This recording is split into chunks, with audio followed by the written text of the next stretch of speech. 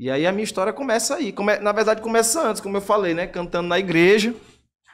Comecei a cantar na igreja, aí surgiu o convite dele, eu participei desse DVD. Aí fui crescendo, ele foi começando a me levar pros shows dele. Eu pequenininho e o Agora, povo de... agora eu, quero, eu quero pegar tu cantando aqui agora, que eu fiquei curioso.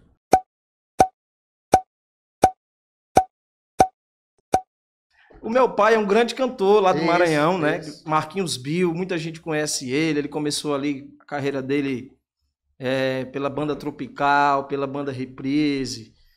E ele é um cara muito respeitado lá na música. Foi pro Rio de Janeiro uma época, participou do programa da Xuxa na época. E a música vem de família, vem do- através do meu pai, né? E aí eu me lembro como se fosse hoje. Eu fiz alguma danação, eu tinha mais ou menos uns, uns sete, seis, sete anos de idade. Eu fiz alguma danação, não me lembro o que foi. É, aí meu pai veio brigar comigo. Eu pensei que ele me batesse. Ele nunca foi um cara de me bater. Aí ele brigou comigo. Aí perguntou: Rapaz, tu quer aprender a cantar? Eu pensei que ele ia falar outra coisa, mas ele me fez essa, essa pergunta: Tu quer aprender a cantar? Aí eu falei: Quero. Aí ele foi me ensinando a cantar, me ensinando a cantar. Quando eu completei ali meus. é, tinha uns vizinhos nossos lá que sempre convidavam a gente para ir para a igreja, né? É, e aí ele me foi me dando uns toques e esse vizinho me chamou para ir para a igreja. A gente foi, eu indo para a igreja. A Maria era, era menorzinha. Eu indo para a igreja, indo para a igreja. É tanto que eu comecei a cantar na igreja. Comecei a cantar na igreja, a pastora me deu oportunidade. Comecei a cantar na Assembleia de Deus, a Madureira, lá do, do Jardim América. Aí comecei a cantar, comecei a cantar, aí completei oito, nove. Quando eu completei 10 anos de idade, o meu pai me fez um, fez um convite para participar do DVD dele.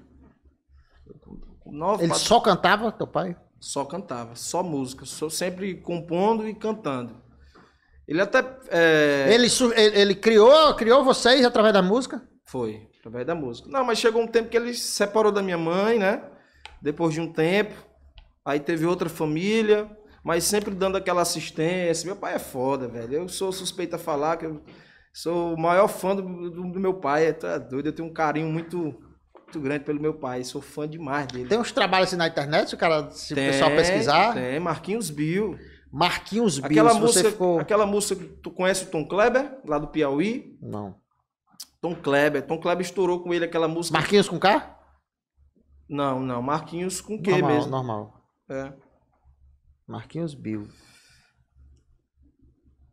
Marquinhos Bill. Os cabelão grande? É, esse cabelão grande. Tá aqui. E aí, e aí, Arlindo? Pera aí. Mas tem um timbre igualzinho. Né? Ele é um cara que está aí encantando as pessoas. O seu grande talento de saber tocar. Salve o Araújo!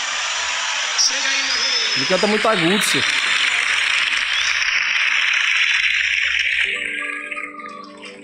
Que banda é essa aqui? Marquinhos Bill. É a banda dele, é.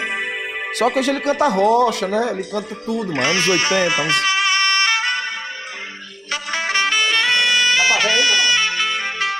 É o Sábio Araújo, um cara lá de. mora lá em Portugal. Foi nesse DVD que eu participei. Coloca aí. Michael Wesley e Marquinhos Bill.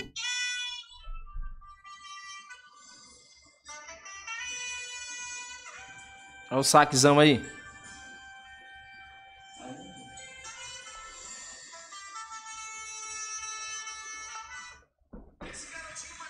Passou a semana toda Aí que começa a minha história, cara.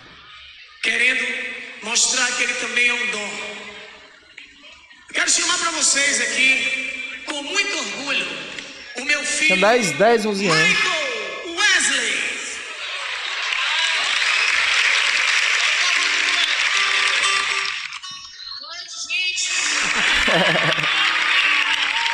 É, Mário, pra ter baixado esse vídeo pra mostrar aqui.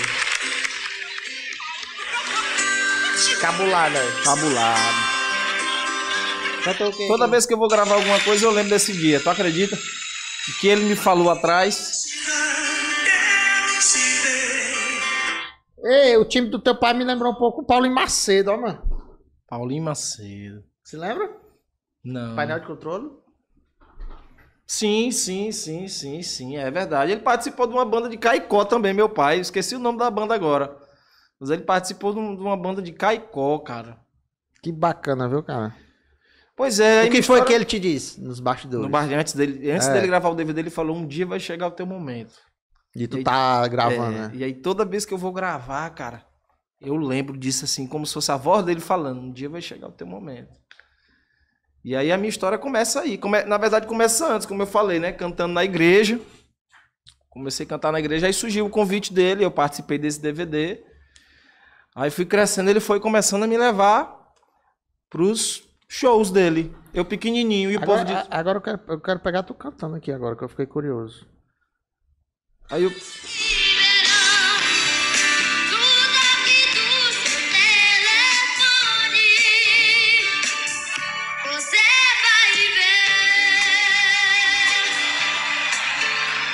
Zezé de Camargo. Zezé de Camargo, meu ídolo. Zezé de Camargo Luciano.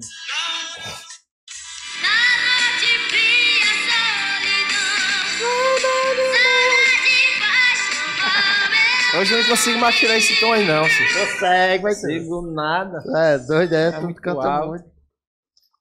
Tem uns timezinhos do, do Zezé que não, que não sai, não? Hã? É muito alto, né, mano? Mas o cara tem que se preparar, viu? É, né? Pra, pra, pra Que tipo de preparo você tá fazendo? macho, aquecer bem aquecida a voz, né? Ficar um- uns dois dias sem pitar paeiro pra não sujar a garganta. E aí a, a- a respiração, tipo, É. cara ou coroa, velho. O cara tem que estar preparado pra cantar, tipo, essa andorinha machucada. Você tem que, os dois, você tem que estar bebo, porque não sei o que acontece. Quando a gente fica bebo, É. a voz Tudo- abre. É porque, é porque tudo melhora, né, mano? Macho, Isso como é que impressionante, pode? né? É. Ou bebo, ou agora o cara assim na Vera acabar de acordar e for fazer essa música aí, meu patrão. É complicado. E aí ele começou a me levar, lindo, mudando já da- da- do começo, né? Começou a me levar para os shows com ele, pra, ele fa- fazia muita seresta lá, né? Cantava rocha e tal.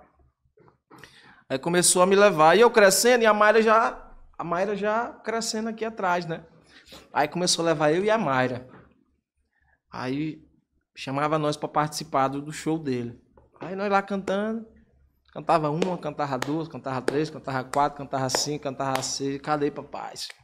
Sumia. Aproveitava. minha Sum- sumia, meu irmão. Aí a gente cantava assim, correr de uns 40, 50 minutos. Aí eu na minha dois. Eu e a Mayra. Já. Aí eu, rapaz.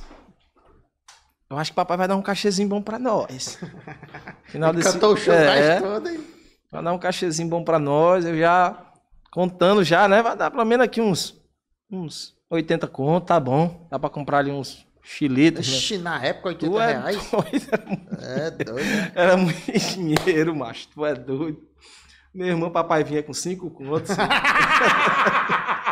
Eu ficava muito puto, ó, velho. É, tá certo. falei, pai, nós cantamos o show quase todos, o senhor vai dar cinco contos. E nós não sabendo que aquilo ali já era escola, né? Na- já era escola. E eu comecei a. Comecei a. Aí crescendo, comecei a fazer barzinho por lá. Comecei a tocar no shopping. Era quinta. Isso tu só? Já só, né? Só. Tinha mais ou menos 14 para 15 anos de idade. Já ganhava meu dinheirinho, né? Fazia e meu- violão. E violão. Não, eu tinha um triozinho, uma percussão, um baixozinho. Uma vez eu. Macho, pedindo pro meu pai direto. Pai, arruma uns cantos pra me tocar, arruma uns cantos pra me tocar. Aí meu pai na correria dele, né, macho? E eu, menino. Criança menino, ainda. né? Criança ainda, 14 anos, mas quem que vai Aham. acreditar, macho? Esse foi só um trechinho do nosso bate-papo. Clicando aqui embaixo, você assiste o episódio na íntegra. Aqui em cima, você assiste outro corte. E nessa bolinha aqui, você se inscreve no canal, compartilha esse vídeo e me segue lá no Instagram, arroba